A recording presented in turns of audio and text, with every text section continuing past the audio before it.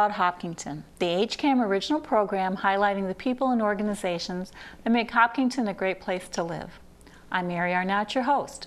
Today we have with us Denise Kofron, the Youth Services Librarian at the Hopkinton Public Library. Hello, Denise, and welcome back to the show. Hello, I'm delighted to be here. I know you weren't on too long ago talking with Mike Tarosian about the expansion of the library, and that was a wonderful show. I watched that from beginning and to we're very end. excited about it. Yes. But this show, we want to focus in on you. We want our audience to know you and the things that you provide through the youth services program at the library.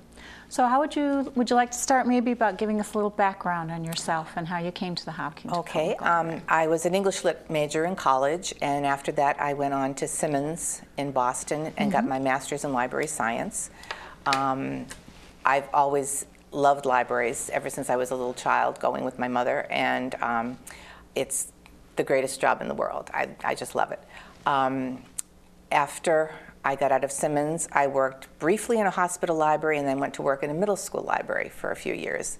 I retired when my children were born, and I was um, not working for about eight or nine years. And then um, I started working part time at the Southborough Library because I had been on their building study committee and I, I knew the director. And then when um, I was ready to go back to work. I just said to her, you know, if anything ever comes up, and she let me know a few months later that there was an opening, and I was lucky enough to get it.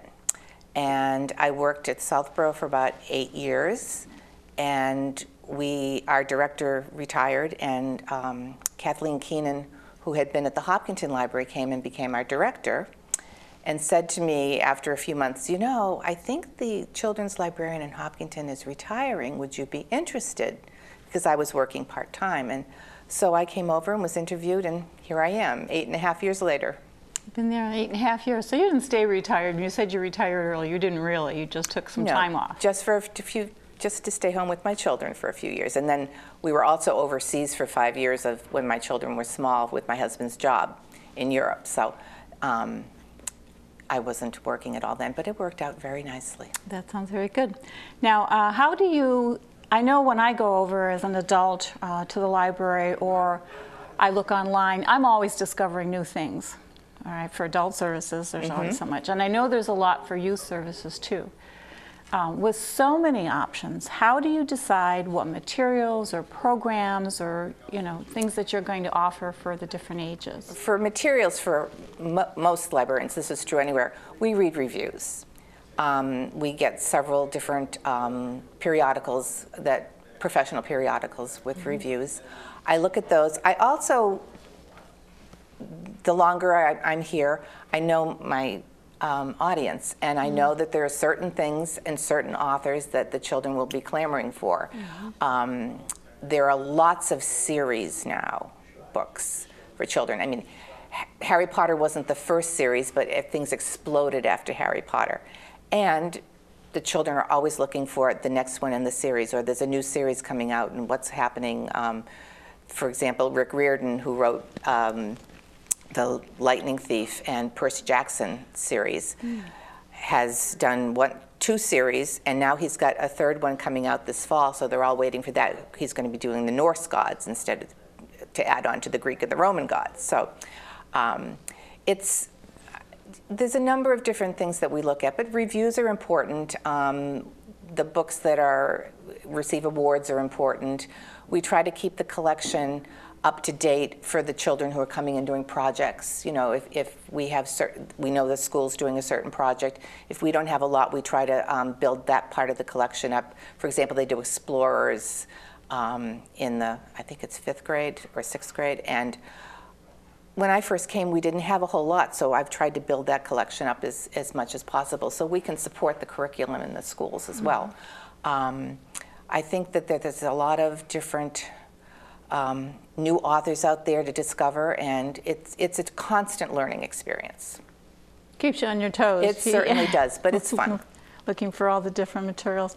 I know, I mean, it's been a number of years now when my son was younger, but I used to love taking him over to the library and picking out books and going to the story time. And do you still offer th- the story time? We do time? offer story time. Um, I do story time twice a week, and we're very lucky to have Tina Grady, who um, volunteers once a month, and she does a story time for the younger children. Mm-hmm. And I have a lady who comes in twice a year. We usually have her in the spring and the fall, who does a baby sign language program for um, young mothers, which has worked out really well, and that's been really popular.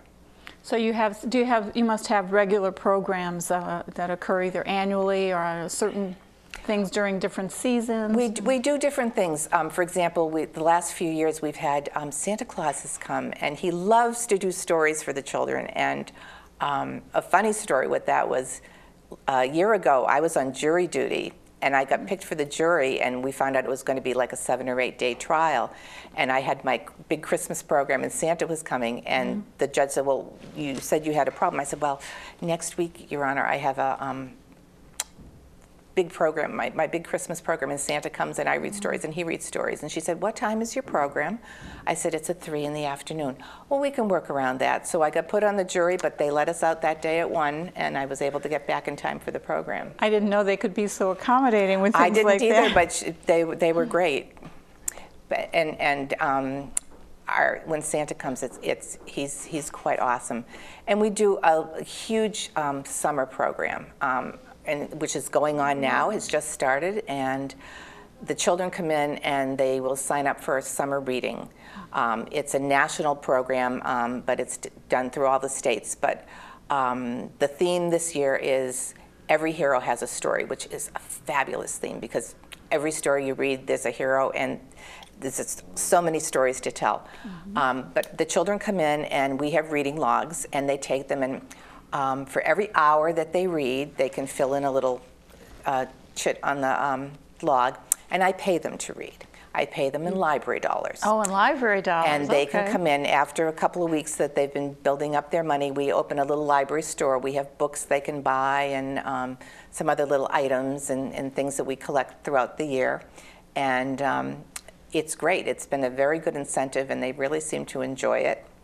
Um, and summer is just a crazy time at the library. It's so busy, which is wonderful. It, it's so great to see these kids coming in and wanting to read. And it's so important for them because the schools have told us and all the literature has told us that to practice reading over the summer, you don't lose your skills. The more that you read, the better, uh, better reader you will be. And um, I think we have a great collection to be able to offer. And if something, if a particular book that the children want is out, we can get it now from another library with interlibrary loans. So it works great. We do a lot of interlibrary loan. Well, I know I've uh, taken advantage of that interlibrary loan myself when I've asked for things and I see when the book comes in, it's from a different library. So that's a wonderful thing. But I like that idea of the library dollars. Maybe we should try that for some adults who don't like to read so much. Well, one of, one of the children said last year, um, you know, is this real money? I said, no, because if I'd printing it, I, they would have me in prison. Yeah, I said, no, it's just for the Hopkinton Library. But that's an excellent idea, though. So you, you referenced that the summertime is very busy, though, so vacations and things don't get in the way so much. or- No. Um, you know, because children, if they're going on vacation, they often like to take um, a book with them or several books with them or an audio book, which we encourage, especially if it's going to be a car trip, because it's, we have wonderful audiobooks that's, that are great for the entire family to listen to. I love listening to audiobooks. I don't know if you do.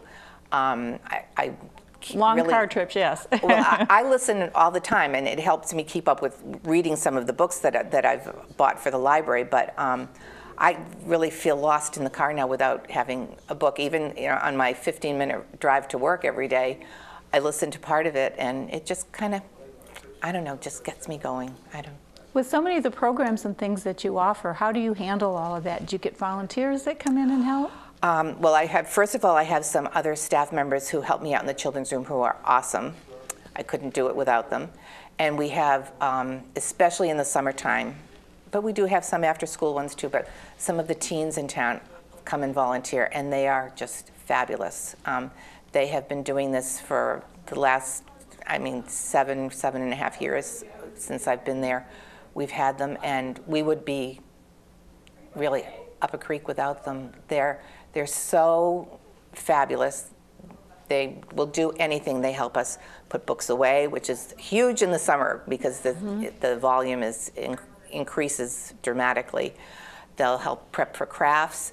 Um, when we have some programs, they help out. Like we're going to do a craft program this afternoon, um, and if one of my volunteers is there, they'll help the children with the crafts. Uh, we had a great program last um, week. Our, our kickoff was Belle from Beauty and the Beast came to the library Oh. and she was from Interstage Left, and she was fabulous. She did a wonderful job. But I had girls helping, you know, organize and getting because we had crafts for the children to do while they were waiting for um, to, to meet Belle. And as I said, the, the, the teenagers have responded very well, and we've had some really great ones. And the nice thing is, a lot of them come back year after year. Oh, that's good. Yeah. Do you have, are there, you do so much there. Is there an area that's your favorite? Do you like the reading? Do you like the programs? Oh, it, it, it, it's hard. I mean, I love doing story time. I love sharing stories with children and reading to them. Um, I love, I especially love the picture books. I mean, picture books are the, the most fun, and uh, they tease me because when I get a new order of books in, it's, I'm like, it's like Christmas. I just, it's just so much fun to get them and read them and be able to recommend them. Um, but I think my favorite thing to do with the um, patrons who come in is they come in and they're looking for a book and they have no idea what they want. And you know i'll say to them well tell me something that you've read that you've enjoyed that you've liked or you've loved. And they'll tell me something and we try to find something not exactly the same but that might pique their interest some more. And um, it's so much fun to recommend books to kids. And when the kids come back and say this was the greatest book. I love this. Do you have another one? And that just makes my day So that might uh, be a way that the, they get involved in the series. You said there are a number of, of new series that are that have been out and are coming out. So if they like one of the books, they start with it. They might go through the whole series. Yes, and it, it's funny because there obviously are series like Harry Potter that are complete. Um, when that first came out, most of us had to wait for the books to come over a number of years. And um, so some of the kids are, you know, now like they start a new series and the next book isn't coming out for so many months and they're like, oh. I said, well, you know, patience, but I said, let's find something else that you can read while you're waiting. Mm-hmm. I, I know, like I said, it's been a number of years, but my son was really crazy about this science fiction series, and I'm embarrassed to say I can't remember the name of it, but there were like, I don't know, a hundred of them. They were, you know, for that seven or eight year old age group, and I think he read all of them. He just went through one Yeah, right after the I mean, other there. We have things like, you know, Nancy Drew. I mean, Nancy Yeah, Drew, course. Hardy Boys are How still long have those been popular. around? Right, but they're still popular. Somebody actually came and took a bunch of Hardy Boys out today. Um, you know, they were, I think, the original series that I remember reading one after the other when I Mm-hmm. was little. Um, but se- se- series, there are, there are numbers of good series out there. Um, and for different age groups. And that's, I think, great because it pulls some of the kids in, and if they love it, they just want to keep going. And what about the parents? Do you get much suggestions from the parents on things to do or Um, books, or how do they get involved? The parents um, will come in and, and ask about different things. They'll ask about different books. Um, I get some of the children coming in sometimes telling me they read a book that they really liked and I don't have it. They th- really think I should get it because the other kids will like it. And most of the time I do um, get it. S- We, are constrained with a little bit of space because Oh, there are some series I would love to have more of. Um, but I don't have the space right now, but that's going to change. Yes, we're all looking forward to that Yes, we, we're very excited about it. Um, but yes, I, I take uh, ideas from parents. Some parents have um, suggested or told me about a program that they've seen at another library, and we, we try to accommodate as best we can. Um, there are certain ones that, um, you know, I mean, one of my favorite things is, is I started um, when I came as some book groups, and I started with a fourth and fifth group, grade group. Um, and the original group then they graduated to middle school and then to high school. And two of my um, girls who were with me from the time that I came here eight and a half years ago just graduated from high school this year, and I'm going to miss them desperately. But they were with me with book groups through the whole time. Um, and it, it's a fun thing to do to introduce them to a new book. I, I usually try to p- pick something that's maybe a little off their radar, and they discover, or a new author that to discover, and um, that's been kind of fun. And most of the time, I, I, they, I- what I pick is they like, and every once in a while they give me the thumbs down, but that's okay because everybody likes something different. That's why we have so many. Yeah. Now, youth services covers all ages from the younger all the way through teens, and I know that you're looking forward to being able to offer maybe something to the older children and the, the teens when there's a little more space. We've, we've done a few programs that have been successful, um, but it's, it's very hard because there isn't a, a space for teens, which will be remedied in the new library. There will be a young adult room, and it will be much easier to offer, um, you know, maybe weekly or monthly things um, to have gaming and a lot of the things that they're looking for that we just don't have the space to offer right now. So that's exciting. And, um, you know, I've said to some of the children who come in who are, you know, I said, in a couple years, and it's going to be ready for you, um, we're going to have this, which will be really, you know, I've, I've been to so many other libraries that have it, and it, it's so exciting to see. yeah, And you see what they offer, and you want so much to Yeah. jump in there and do that for even for the children, too, it will be great because we'll have a dedicated room in the children's room, which I like to call the activity room, so we can use it for story times, but we can have a Lego club, we can have a chess group. We'll have places to do it, places to store the materials, which um, I think will be really exciting. And that's something pa- parents have asked for. Um, we're going to do one thing actually, um, starting, we're going to try it twice in July. We did a dry run um, a few weeks ago to have a service dog come for the children to read to it. This popular in a lot of other libraries. And again, we didn't really have the space, but an opportunity presented itself. I said, well, let's just try it this summer. And um, as I said, we did a, an experiment with it, and we had a few kids come in. And what the children can do is that they can come in and read to Gracie. Gracie is a, a service dog who's going to come, and you know you can practice your reading. Gracie does, he just sits there and loves listening, um, loves having you give him give her a pat, and is non-judgmental. If you stumble over something, she doesn't care.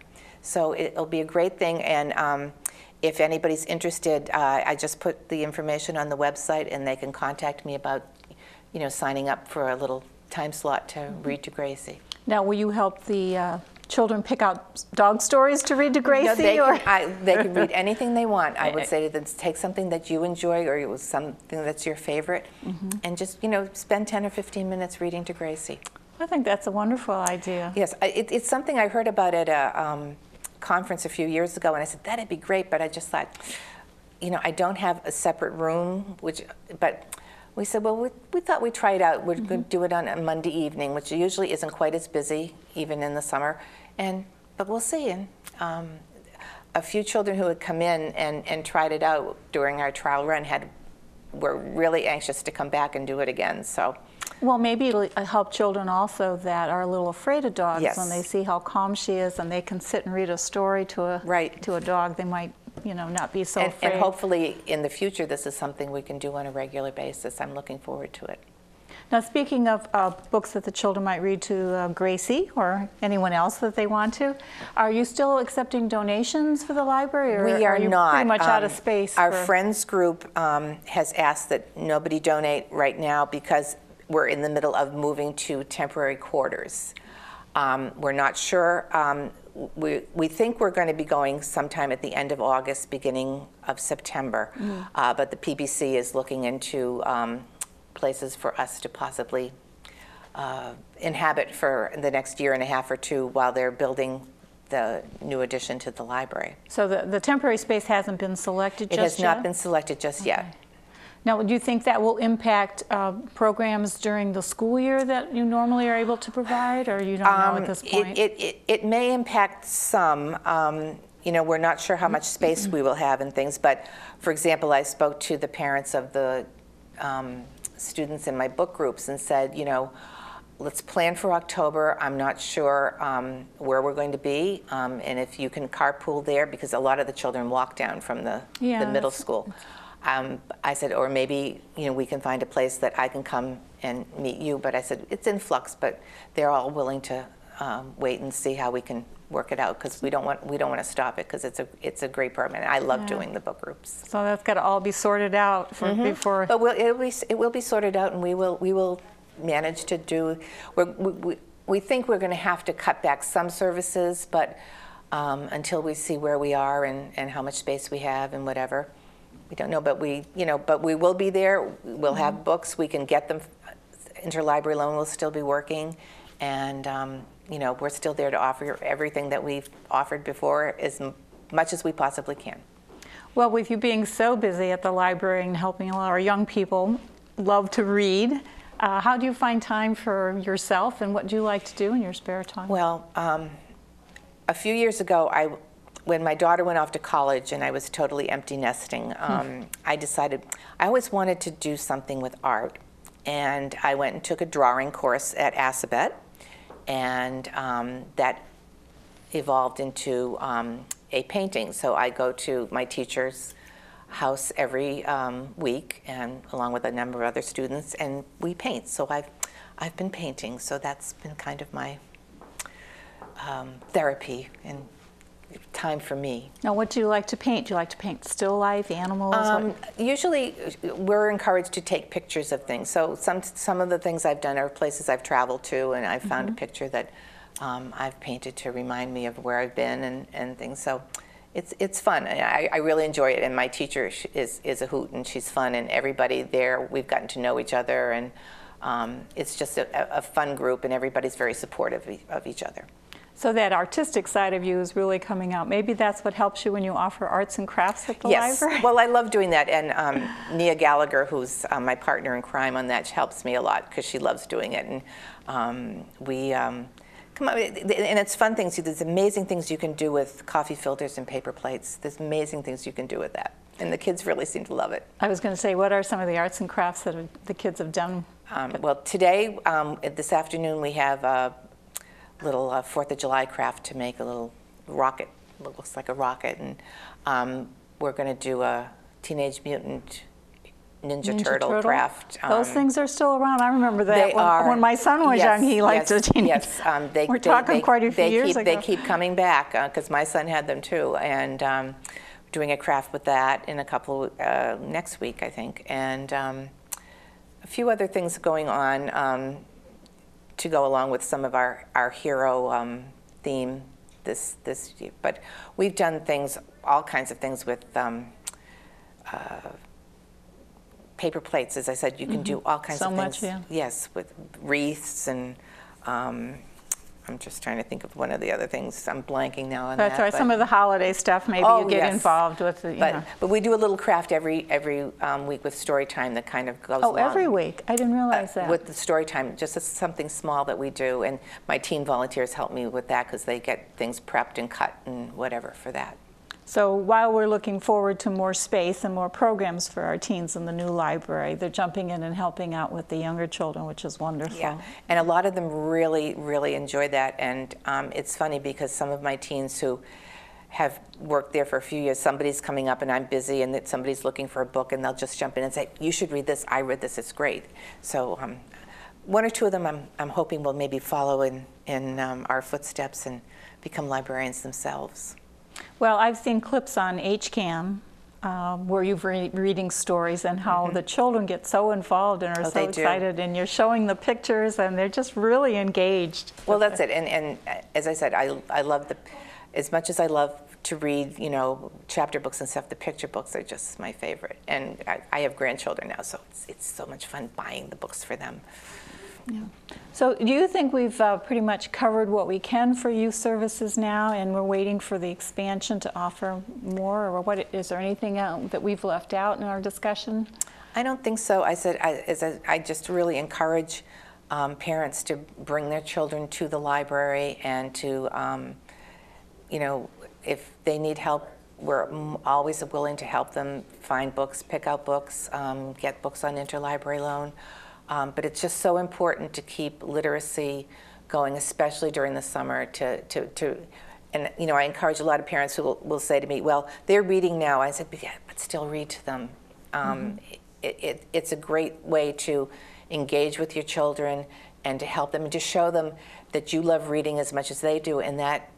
They're going to want to emulate you, you know, and, and keep reading themselves. Especially when movies and TV get in the way so much, you know, to keep them reading and engaged in books, whether it be, you know, books they hold or. I always tell do them- kids do much with e-books these days, or is it, they Some still of like them, to? some of them do. Some of Um, them they, do? they, they, they have Kindles and things. well, the um, teens probably, but Yeah, but some of the younger kids will say, "Well, I can down, we can download that onto the Kindle and, and read it," which is which is fine. Um, though I did tell my, my son and daughter-in-law that I will never read a picture book to my grandchildren on, on the Kindle. I want the book. I Yeah, it's just not the same, it's especially not with the same. younger ones. You want to cuddle up and, and, and read, but um, there are wonderful things on the Kindle too. And, yeah, and there's a place for it. Yes, I, I love it when I travel because I can take several books with me in one compact um, unit. You know, it's, it's Mm-hmm. much easier to travel with than a couple of big, heavy books.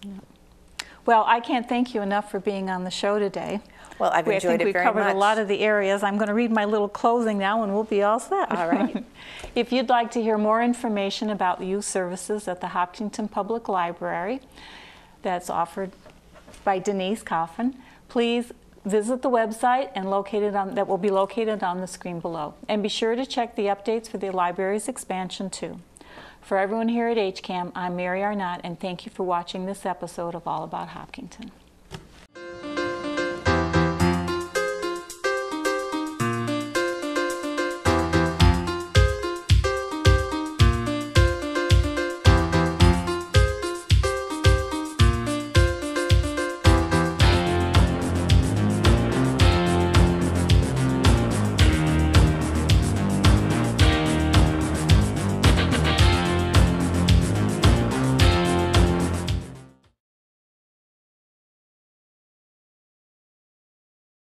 I'm Dr. Tom Sullivan. And I'm Dr. Hugh Taylor. From the latest in medical testing to ordering prescriptions, health information technology is changing the way physicians practice medicine and patients receive care. Simply defined, health information technology means using computer hardware and software to securely store, retrieve, and share a patient's medical information.